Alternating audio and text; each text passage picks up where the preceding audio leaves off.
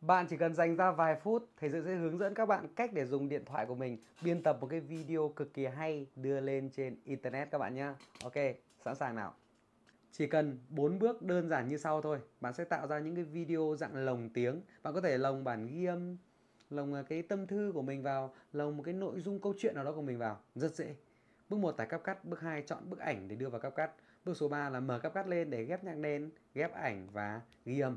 Và bước số 4 là xuất nó ra đưa lên Facebook hoặc YouTube để mọi người có thể xem được. Đúng không ạ? Bước 1 tải CapCut ai cũng làm được rồi. Các bạn vào để tải cái CapCut nhá. Và App Store, CH Play có CapCut miễn phí. Đúng không ạ? Sang bước số 2 này. Chọn một bức ảnh đưa vào CapCut, một cái bức ảnh cá nhân nào đó. Thế ví dụ nhá. Đây là một bức ảnh này. Bây giờ mình vào CapCut này. Mà CapCut lên nó chọn một ảnh này. Mình ấn vào dự án mới nhá cái này rất dễ, ai cũng làm được. Đó, và bây giờ mình rất là muốn lồng một cái đoạn ghi âm của mình vào cái video này để tạo ra cái video rất là tình cảm liên quan đến con gái chẳng thế. Đấy, thì mình tìm ảnh của mình với con gái đi. Thấy không? Tìm một bức ảnh của mình với con gái. Đấy, và mình cho vào. Ví dụ. Đây nhá, ví dụ mình chọn là bức ảnh này. Mình bố con đang ngồi. À đây, chọn là một hình ảnh nhá đừng chọn với video. Chọn hình ảnh. Đây là mình ghép vào video dạng ảnh. Đúng không ạ? Đây. Đó, mình chọn một cái ảnh rồi. Và các cắt này chọn dự án mới này xong chọn một hình ảnh đấy nhá, nhớ đừng có chọn video chọn hình ảnh. Nó chọn một hình ảnh nào đấy của mình. Đó, được chưa? Đây là hình ảnh của mình đây. Đó, thế việc của mình bây giờ là gì ạ? Một hình ảnh này nó hiển thị đây chỉ có 3 giây thôi. Đúng không? Rồi cái này mình có quyền kéo dài nó ra, ấn vào đây kéo dài nó ra bao nhiêu giây tùy thích. Đấy. Đó, kéo dài ra. Và bây giờ mình cứ để tạm mấy chục giây đã tí nữa thì mình sẽ kéo dài sau cho nó phù hợp với cái thời lượng nhạc nền và thời lượng cái đoạn ghi âm của mình. Rồi bây giờ xem nào. Chọn bức ảnh đưa vào cáp cắt dễ chưa bước hai? Ôi ôi chưa gì đã làm được 50 phần trăm rồi đấy. Bước số 3 là mở cáp cắt lên này để còn mình dạ, ghép nhạc nền rồi ghép hình ảnh và ghi âm lại. Rồi cáp cắt đâu? Đây cáp cắt của mình đây rồi. Đó. Rồi bây giờ thì mình gì ạ? à? Mình đi lấy nhạc nền để mình ghép vào đây thôi. Được không? Nhạc nền đã. Nhạc nền ví dụ như thầy dự sẽ sang tiktok để thầy dự làm cái nhạc nền. À, nhạc nền tĩnh tâm. Nhạc nền tĩnh tâm. Rồi ví dụ mình xin cái nhạc nền này. Mình thấy cái nhạc nền này hay và nó dài nhá tìm nó dài này. Đấy mình ấn vào đây. Mình ấn lưu video về. Mình sang tiktok mình gõ là nhạc nền hoặc nhạc phật tích tâm nhạc gì đó đó hoặc nhạc thiền chữa lành. Đấy, tìm cái đoạn video nào phải dài vào. Đấy, còn ai đó muốn nguyên cái đoạn video này luôn thì chat với thầy dự thầy dự gửi cho đúng không ạ? Rồi, mình download nó về máy rồi nhá. Thế bây giờ này, mình vào cắp cắt của mình này. Mình bấm vào thêm âm thanh. Mình ấn vào thêm âm thanh này, thêm trích xuất tại vì cái nhạc đấy là mình đã đao về điện thoại của mình rồi đao cái video có nhạc đấy về rồi. Thì mình thêm âm thanh, sau ấn vào trích xuất sau mình chọn luôn cái âm thanh đấy. Chọn luôn cái video có âm thanh đấy. Sau nó hiện là trích xuất và thêm âm thanh này, ấn vào luôn đó, rồi. Đặt cho đây để kéo nó về đầu tiên. Thì video nó thành như này.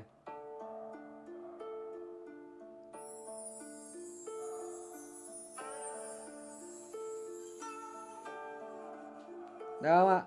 Rồi. Ok. Thì lát nữa mình sẽ lồng tiếng vào nữa cơ. Đó, chứ không phải đơn giản như thế đâu. Mình sẽ lồng tiếng vào nữa.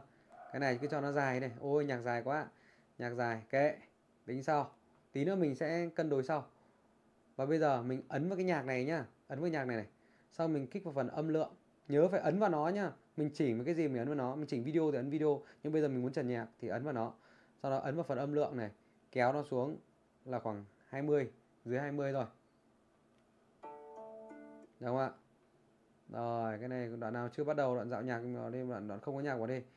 Đấy thì mình kéo đây. Đây này cái này là mình cắt này. Mình kéo dài ra này đấy, hoặc tóm lại mình để không cũng được, không sao cả. Ấn này.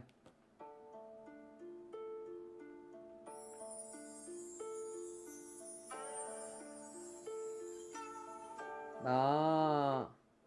Và bây giờ mình rất là muốn lồng một cái tâm thư nào đó của mình vào đây, để mỗi khi mà mình nghe lại nó thì mình có một cái nguồn cảm hứng, đúng không ạ? Thì những bạn nào là những học trò kèm, những học trò thầy dự đồng hành một năm ấy, thì các bạn đã hướng dẫn, được hướng dẫn cách để làm bản tâm thư, để mình nói về cái mục tiêu của mình rồi, đúng không ạ?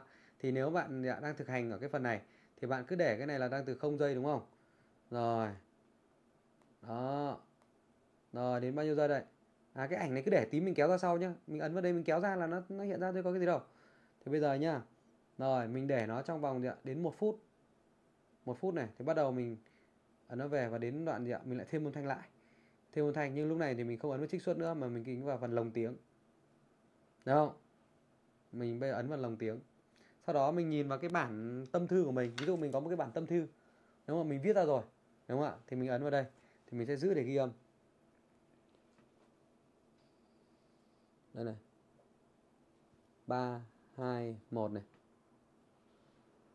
Thư gửi Jennifer, con gái yêu của bố.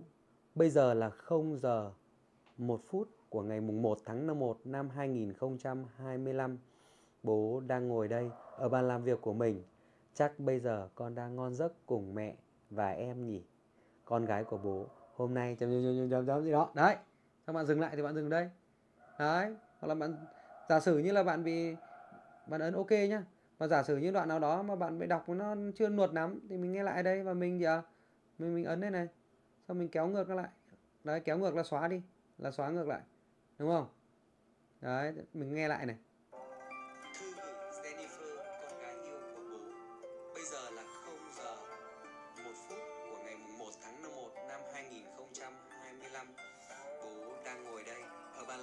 mình. Chắc bây giờ. Đấy. Các bạn hiểu ý tưởng không? Đấy, xong đến đây. Rồi, cho tròn câu cú vào. Ví dụ mình nói được một đoạn rồi, thì mình lại hoàn toàn có thể là gì ạ? À? lại kéo vào đây. Tìm xem nào. Lại quay trở lại nhá. Tìm phần âm nhạc đó đấy, phần lồng tiếng. Mình cứ thêm, mình cứ tìm ở cái menu này này. Ấn vào âm thanh này. Đúng không ạ? Rồi, chọn lồng tiếng này. Mình lại lồng tiếng tiếp. Đấy, đến là ba, hai, một. Rồi mình sẽ lồng tiếp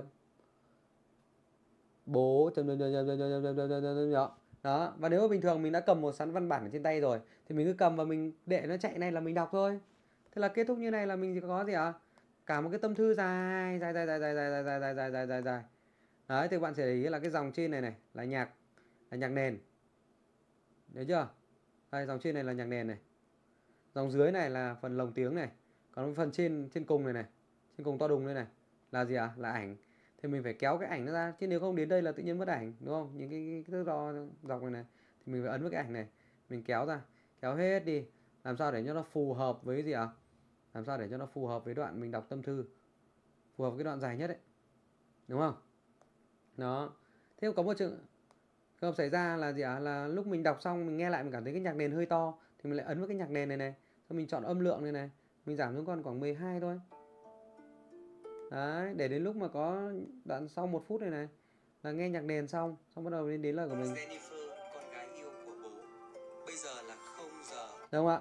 Thì sở dĩ vì sao mình phải làm này? Vì thầy dự muốn rằng sau này bạn nghe lại cái này ấy, thì bạn bật nó lên và 60 giây đầu tiên bạn sẽ ngồi bạn tĩnh tâm. Đấy tĩnh tâm đã. Đó xong đấy gì ạ à? bạn nghe cái bản này 60 giây xong thì ạ xong bắt đầu mới đến mới chạy đến cái phần gì ạ? từ 60 giây trở đi bắt đầu đến lời thoại của bạn. Thì lúc đấy cái phần tâm thư này nó trở nên cảm xúc hơn trở nên sinh động hơn rất là nhiều. Ý là như vậy đấy, chứ nếu bạn ghi âm luôn từ những giây phút đầu tiên như này này đấy thì vào phát thì bạn chưa tập trung được thì bạn đã nghe tâm thư này rồi thì nó sẽ không hiệu quả mấy đâu. Ok chưa? Thế trong trường hợp mà nhạc nền của bạn bị ngắn quá thì làm như nào? Ví dụ cái này hơn 4 phút rồi mà vẫn bị ngắn đúng không ạ? Đấy thì việc của mình rất là đơn giản thôi mình muốn ghép thêm mình ấn vào nó. Sau mình ấn vào phần nhân đôi. Thế nó thành gì ạ? À? thành 8 phút rồi còn nữa.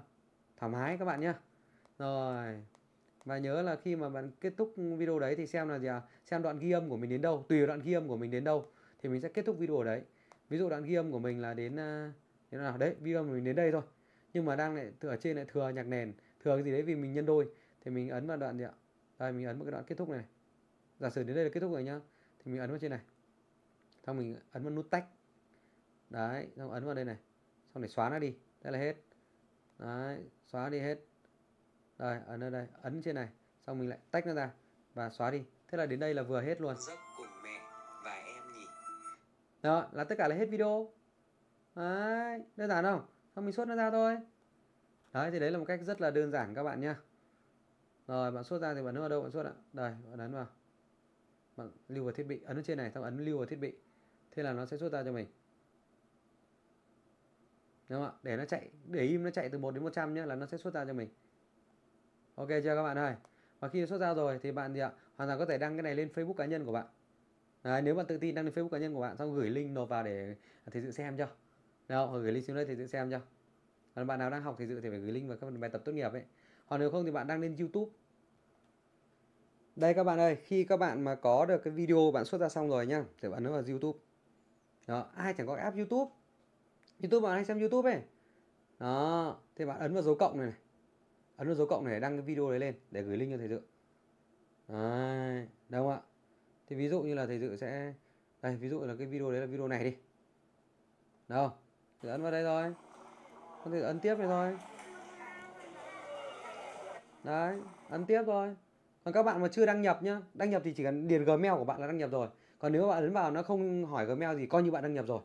Đấy các bạn ấn đây là gì ạ? Bạn có thể gọi là tâm thư 2025 gửi gửi ai đó. Ví dụ trong bức thư của bạn là gửi con gái. Ví dụ kiểu vậy, đúng không ạ? Xong mình ấn vào nút xong đây này. Xong mình ấn nút tải video lên thôi. Đúng không ạ? Để chế độ công khai nhá. Ok không? Các bạn tải lên. Đấy, khi tải lên thì bạn đợi một tí nhá. Bạn tải lên này, bạn đợi một tẹo nữa đây này. Đấy, bạn tải lên rồi, xong bạn cần phải lấy link để bạn gửi cho thầy dự, gửi báo cáo thầy dự. Đó, thì cái link đấy đâu thì bạn ấn vào bên này đúng không ạ? Ấn vào đây này. Ấn vào cái màn hình dưới này. Các bạn xem kênh của bạn. Xem cái video này. Xem video bạn vừa tải lên đâu. À chưa lên. Đâu video đâu? Chưa thấy lên. Mình ấn vào quản lý video xem sao xem lên chưa? À đây đang đang đang xử lý đang xử lý. Đấy, đợi trong khoảng tầm 5 đến 10 phút. Đấy, khi nó lên rồi thì nó có sẽ ví dụ lên rồi này nó sẽ có cái đường link. Đây không ạ? Đường link này bạn ấn vào xem này. Đó. Các bạn ấn nút chia sẻ này này? Sao ấn vào sao chép liên kết? Đúng không? Đấy, sao chép liên kết? Thế thôi. Sau đó thì bạn gửi cho thầy dự thì cái liên kết của bạn nhìn nó như nào? Đây là liên kết của bạn, nó sẽ thành như này này. Đấy, như video youtube này này. Đúng không ạ? Đó, và bạn gửi thầy dự ai người ta cất và ấn vào người ta xem được. Thế là thắng rồi. Hiểu chưa các bạn ơi? Đây là yếu tố kỹ thuật nhỏ nhỏ thôi, quá dễ thôi mà. Đúng không ạ?